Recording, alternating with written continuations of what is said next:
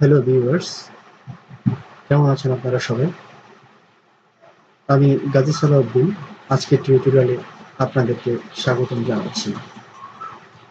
আজকে আমি দেখাবো মাইক্রোসফট ওয়ার্ডের আজকে প্রথম পর্ব।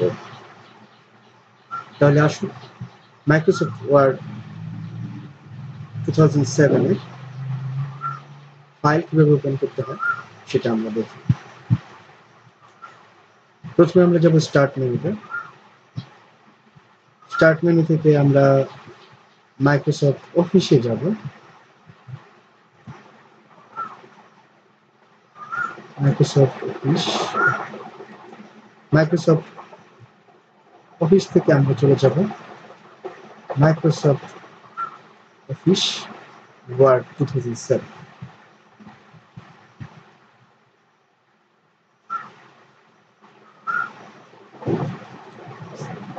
এখানে আসার পর আমরা দেখতে পাবো একটি পৃষ্ঠা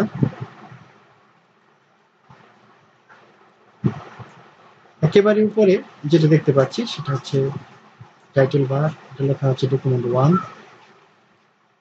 অর্থাৎ এই নামই ফাইলটি হবে।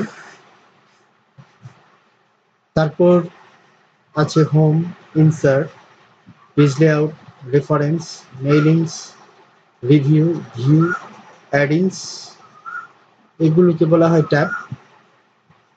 এবং প্রত্যেকটা ট্যাবের অধীনে যেগুলো আছে, এগুলোকে প্রত্যেকটাকে বলা হয় রিবন একেবারে স্ক্রিনের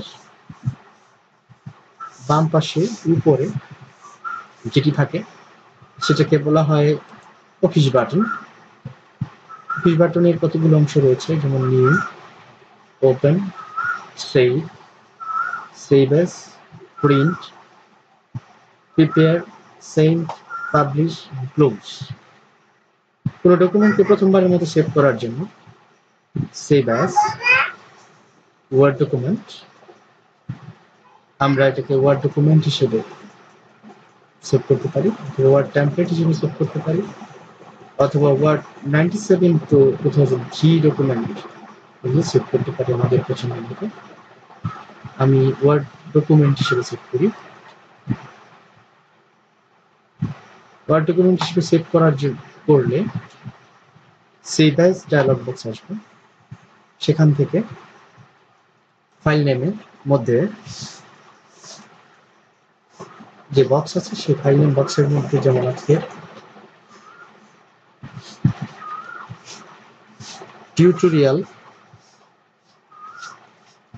ওয়ান এই নামে এটাকে সেভ করব।